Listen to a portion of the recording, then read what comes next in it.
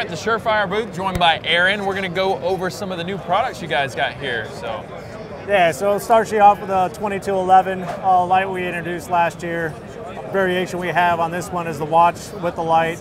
Uh, this is actually supposed to be uh, is designed to be used with a primary light as well, like a primary weapon light. Yeah. Uh, this is more of a backup light.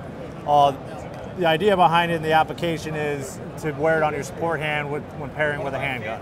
Gotcha. It's going to give you a really broad beam pattern, uh, so it helps and accommodates your peripheral vision. This is actually going to ship with a Luminox uh, watch. Yeah, that's what I was looking at there. What's the price point on this? Probably looking about the $800 range for this. Yeah, one. I figured so, as much with the Luminox. Yeah, so uh, probably looking about the next three months to get this one out. Gotcha, gotcha. So- what else you guys got out this year? Uh, you're going to see a designation on a few of our lights called ultras. Uh-huh. Um, and basically, what that's going to signify is, is a couple of things. One is the LED we're using in it, and also the output level we're getting on these lights. So, um, this is actually going to be an upgraded light to the current Defender that we have out.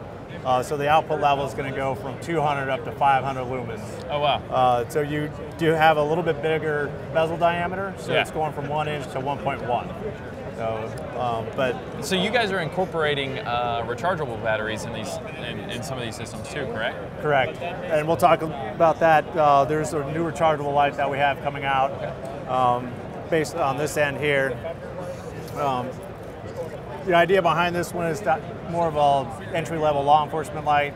Um, and as far as Surefire is concerned, it's really the no-frills, high-performance light from Yeah. Surefire.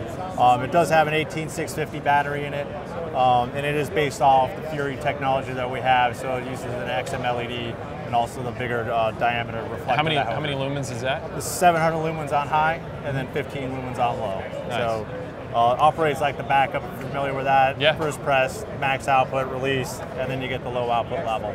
Gotcha. Uh, a couple of the other things are these really high performance uh, handheld lights that we have at the end over here. Yeah, Uh, check it so These are all going to be uh, rechargeable variations. The one exception to it is this one. This is both uh, rechargeable lithium ion and it runs on 12 123A batteries. Okay. So it does take a whole 12 pack of batteries to get this thing Yeah. powered up. But if that's the way you need to run it, then there's that option for And what's you. what's the output on these? So this one um, is now the smaller of all these ones is at 2,000 lumens. Wow. Okay. So this is the high-end flashlight, so it's going to give you every bell and whistle that we can include in a flashlight. Yeah. Uh, you have a selector ring up here, so whatever output designation you want, down to about 10 lumens, uh, all the way up to 2,000 you have it, including strobe.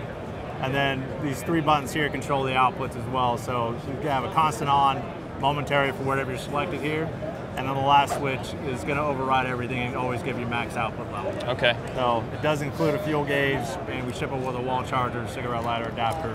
Nice. Um, and this one actually comes with a shoulder sling, so if you need to carry it long distance, you won't wear out your arm. So this one looks impressive until you get to this. One. Yeah. So this is called the Annihilator. Uh, we're actually working with one of our vendors, uh, suppliers, to develop a proprietary LED package.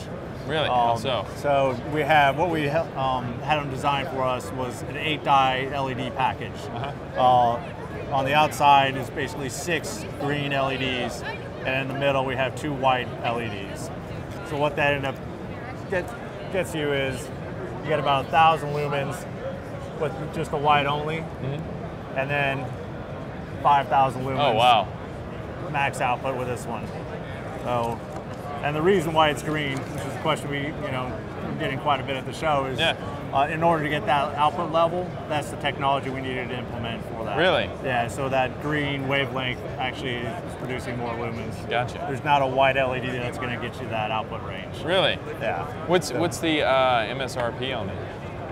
For these three lights, we haven't released them yet. So, Okay. but um, you're looking at probably a couple thousand dollars Yeah. in this range. This one's uh, going to be released March timeframe, and it's 1350. Gotcha. And ETA on these? This one, fall? end- this one, end of year.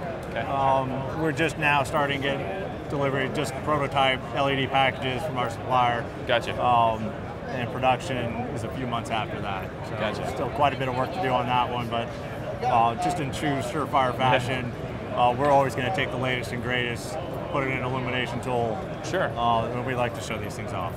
Uh, what we have here two uh, rechargeable HID lights.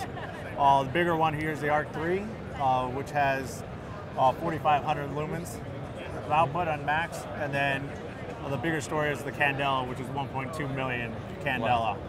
Uh, and then here's a little bit smaller, uh, Arc 2, uh, eight. Uh, this is 4,000 lumens, and then 800,000 Candela. So really Yeah, good as far yeah. as performance and beam distance for these.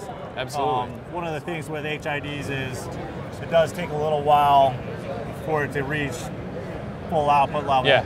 But once it gets there, it's a wall of light coming at you. Yeah. So it's, um, and you can see the beam intensity in the middle there. Yeah. So it gives you quite a bit of beam distance. Yeah, just off of the just Yeah. off of the carpet, it's pretty intense. Yeah, Yeah. exactly. And these lights are designed um, for like search and rescue applications, Yeah. border patrol, maritime applications. That's kind of where we see the fit for these lights. Um, Sure. But of course, you know, any consumer that would like to buy these lights. Yeah. so. All right, that's it for the Surefire booth. Thanks, Aaron, for all your help out Yep. here, and stay tuned for more episodes here at SHOT Show 2013.